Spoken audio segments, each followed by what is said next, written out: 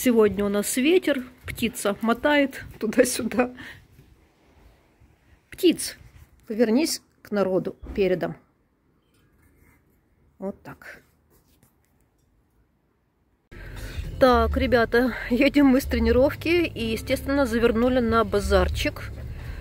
Купили капусту. Сейчас приеду домой, буду капусточку квасить. А что?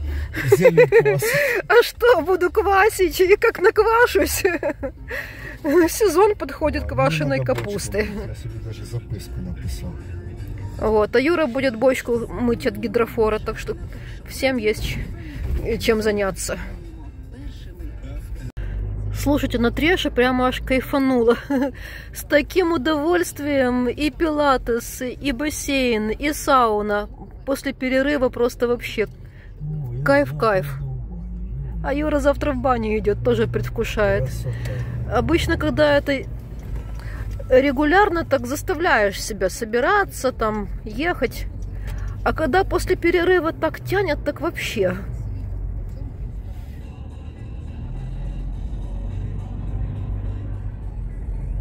Дорога у нас идет через такую парковую зону. Очень люблю здесь ездить. Смотреть на деревья. Как все изменилось. Деревья стали такие графичные, прозрачные и все-все желто. А между прочим, у нас электротранспорт не ходит до сих пор. Уже третий день подряд. Ни трамваи, ни троллейбусы. Но пишут в новостях, что пустили бесплатные автобусы по тем маршрутам, которые сейчас пока что недоступны для трамваев, троллейбусов. Из-за того, что был ракетный удар по энергетике. И еще очень многие районы остаются без света. Но нам, слава богу, свет уже дали в нашем районе. Хотя мы были э, почти двое суток без света. Пока я была на треше, Юра с Аделей сходили в салончик. Подстриглись. Аделька теперь у нас такая красивая. Уже не селянка, уже понянка. Аделя, покажись. Покажись. Такая хорошенькая теперь стала.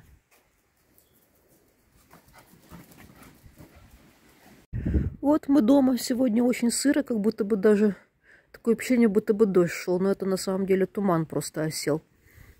Ветрено, но ветер не холодный. И опять куча-куча листьев. Юра не успевает убирать те листья.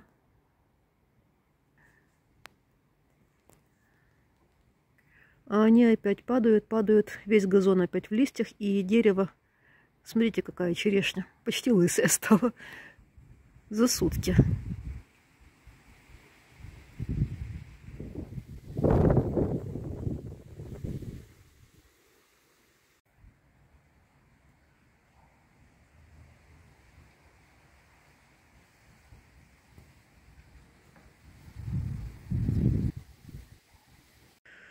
Ну что ж, пора обедать, и потом и за капусту возьмусь. А лесом цветет красивенько. Плющ так сильно отрос. С одной стороны, красиво, конечно. Вот эти плети такие у него классные, шикарные просто. А с другой стороны, он же ж под ними там будет сохнуть. Поэтому надо их обрезать, конечно.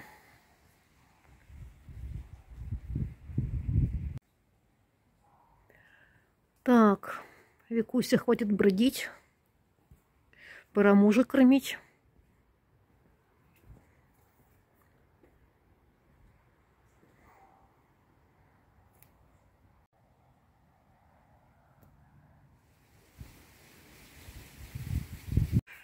Смотрите, у нас новый гаджет. Купили э, дробилку для веток. Шредер. Э, правда, бэушный, но новый. Я не знаю, мы уже сколько раз ошиба- обжигались на этих бэушных всяких примочках. Посмотрим, как он будет себя вести сейчас. Э, Нам, ну, нам же вообще очень-очень нужна такая штука. Особенно туда, в Закарпатье. Вы же помните, как, как нам много туда требуется мульчи теперь, чтобы закрыть весь этот черный материал. Ради этого Юра даже не поленился полезть на дерево, да, и это и, и спилить новую, и спилить новую ветку. Давай уже там еще парочку заодно. Все равно нужно будет это все обрезать. Вон ту самую толстую, длинную, что вверх идет.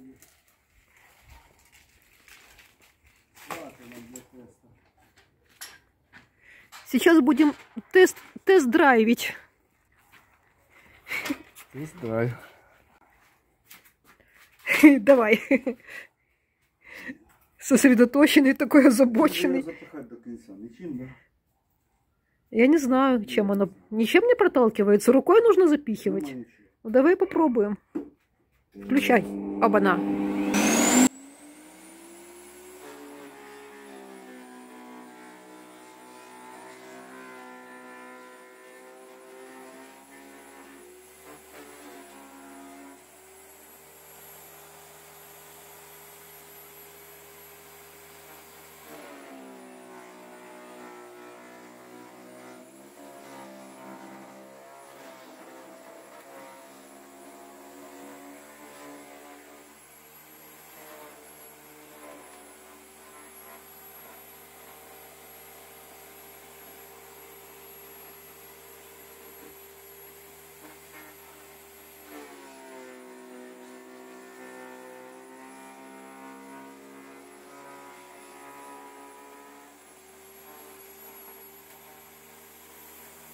Что, пров- Вуаля, Мульча. Вуаля, мульча. Проверим фракцию. А ну давай показывай.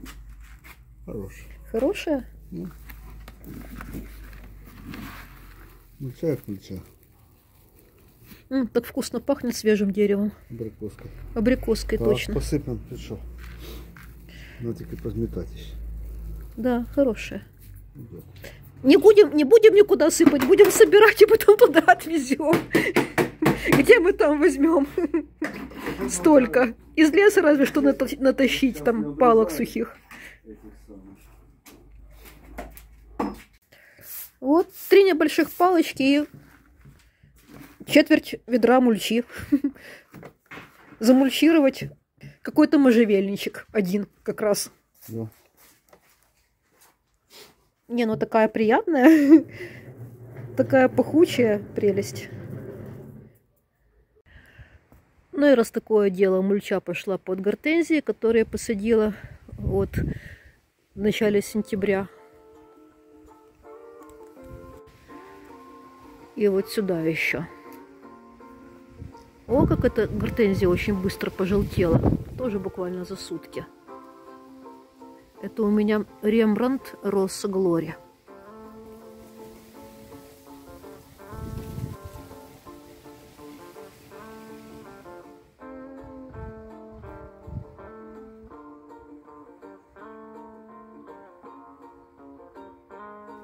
Читок Матрона. Я его подстригла в сентябре, а он пошел цвести по второму кругу.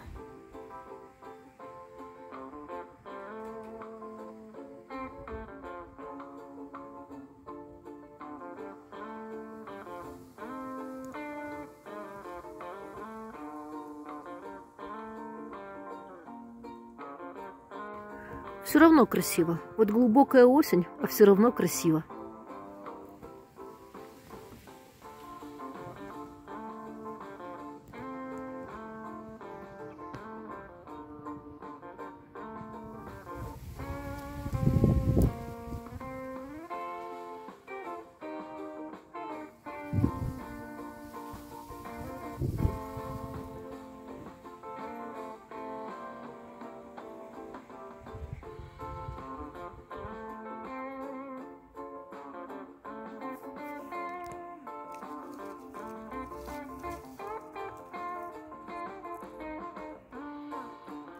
Какие краски, да?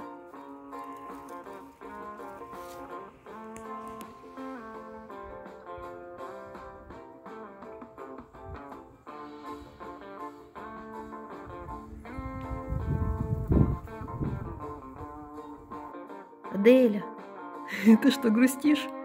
Что ты улеглась на мое место? Ты будешь вместо меня сейчас видео монтировать, да? Ну что, друзья, принимаемся за капусту. Заквасим ее по моему любимому рецепту. Рецепт, проверенный уже несколькими годами. И именно на нем я и остановилась, и больше не делаю ни по каким рецептам. В общем-то, все очень легко, все очень просто. Нам нужна капуста, нам нужна натертая морковка, соль, не йодированная и еще один секретный ингредиент, о котором я скажу попозже. Так вот, капуста. Да, рецепт легкий, но есть нюансы. Начинаем с нюансов. Капуста должна быть плотная. Ни в коем случае, конечно же, это не должна быть молодая капуста. Капуста у нас осенняя, хорошо вызревшая, и она должна быть плотная, твердая и белая. Не зеленая, белая. Дальше. На каждый килограмм уже пошинкованной капусты берем одну крупную морковку. Морковку у меня уже потер Юра, потому что, ну, любит он меня и помогает очень часто. И еще нам нужен один остро отточенный нож. Итак, начинаем шинковать капусту. Кто ножом, а счастливые обладатели шинковок могут, конечно, и применить этот сложный девайс. И приготовим еще вместительную емкость. У меня вот такая миска, где бы мы эту капусту могли свободно перемешивать. И она у нас не падала ни на стол, ни на пол и вообще никуда. Юра, у тебя даже лучше получается, чем Працює у меня. професіонал. Професіонал працює. Любу морку стерти може до дир. До дирок. Стира... Стирає моркву до дырок. Любу морквинку. Шинковать капусточку стараемся тоненько и длинненько. Этот рецепт пару лет тому назад уже был на моем канале. И тогда очень многие мои зрители его повторили и писали в комментариях, что на самом деле очень удачный рецепт и очень вкусная капуста получается. И я тоже вам подтверждаю, что по этому рецепту капуста всегда получается очень хрустящая и пикантная. И она годится для абсолютно разных блюд. Ее можно и тушить, и делать солянки, и делать различные салаты. Между прочим, одесский жлобский салат с ней получается очень вкусно. Помните этот рецепт вкуснейшего и простого салата, который очень любят одесситы? Салат на скорую руку. А я еще очень люблю винегрет именно с этой капустой. Ну и, конечно, классика – посыпать лучком, полить ароматным масличком подсолнечным, сырая семечка, и под горячую отварную картошечку. Когда наша капуста уже нашинкованная, нам надо ее взвесить, для того, чтобы точно знать пропорции соли. На каждый килограмм капусты идет одна столовая ложка соли без горки ровно с краями. Не надо солить больше. Лучше не досолить, чем пересолить. Поверьте, будет вкуснятина. Все, капуста у нас посоленная, теперь ее нужно перемешать. Мешать надо довольно нежно. Вот не нужно ее сильно сжать, не нужно ее жмякать. Можно слегка так перетирать, но не надо это делать, знаете, изо всей силы, так сказать, со всей дури. Нежненько, нежненько. Она и так сок пустит. Она уже вот, уже пускает сок, уже молодец. Прямо вот так вот из-под низа берем, перемешиваем и слегка в это время вот так вот передавливаем. И пусть она немножечко, минут 10 постоит. И только потом добавим морковку. Почему? Чтобы морковка сильно не окрасила нашу белоснежную капусту в оранжевый цвет. Если вы любите оранжевую, то, пожалуйста, добавляйте прямо сейчас морковку. Прошло 15 минут. Давайте проверим, как там чувствует себя наша капуста. О, смотрите, она дала достаточно сока. Так, вот, видите сколько? Ну, прямо очень хорошо. Много сока. И теперь самое время добавлять наш секретный ингредиент. И вот он, наш секретный ингредиент. Ложечка меда. Ложечка меда столовая без горки на каждый килограмм капусты. И добавлять мед нужно именно на этом этапе, когда капуста уже дала сок, тогда мед очень хорошо растворится.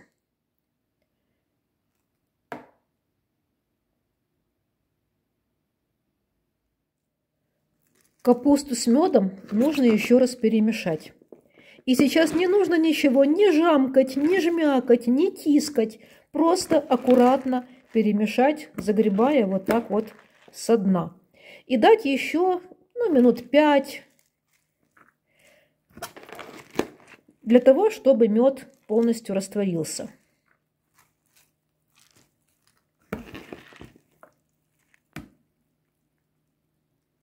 Давайте проверим, растворился ли наш мед. Да, сгустков больше меда не видно. Сока намного увеличилось. Смотрите, сколько много сока. И если вы сейчас попробуете, вы не удивляйтесь и не пугайтесь, что капуста вам покажется слишком сладкая. Это нормально. Когда она заквасится, вкус будет самое то. И именно вот эта вот сладость первоначальная, мед придаст неповторимый такой смак вашей капусте. А сейчас самое время добавить морковку. Еще раз очень аккуратно перемешать, не жамкая, не жмякая, не приминая. Сделать массу однородной. Именно так у вас будет шанс, что пигмент морковки не смешается с капустой и не даст ей ярко-оранжевый цвет. Но все-таки это еще зависит и от сорта морковки тоже. Все, теперь можно перекладывать капусту в подходящую емкость. А вот здесь, на этапе укладывания капусты в емкость, очень важно, наоборот, ее очень хорошенечко умять. Это можно сделать чем вам угодно. Вот у меня такая есть качалка. У нее такая история интересная, может быть, когда-то расскажу. Это еще моя прабабушка причастна к этой, к этой скалке. Она ее когда-то вырезала из лопаты, из старой, потому что приехала в гости и захотела делать вареники, а скалку не нашла. Пошла во двор, вырезала из лопаты черенок, и вот у меня хранится до сих пор эта скалка. Вот. А можно вот так вот кулаком, если рукава идет. Хорошенечко, не дать шансу воздуху там остаться внутри. Так, так, так. Ну что вам сказать, я вижу, что моя капуста не поместится в эту большую банку. Немножечко осталось, и поэтому придется мне ее перекладывать. Ха-ха, притащила Вика два керамических бочонка, между прочим, оба бочонка еще бабушкиных. Вот, и подумала, что в коричневый тоже не поместится, но будет ровно с краями, значит, придется ставить в этот бело-голубой. И туда как раз будет удобно поставить банку, и, ну, как груз, и туда ничего не будет переливаться через край. Замечательно. Утрамбовала, вылила весь сок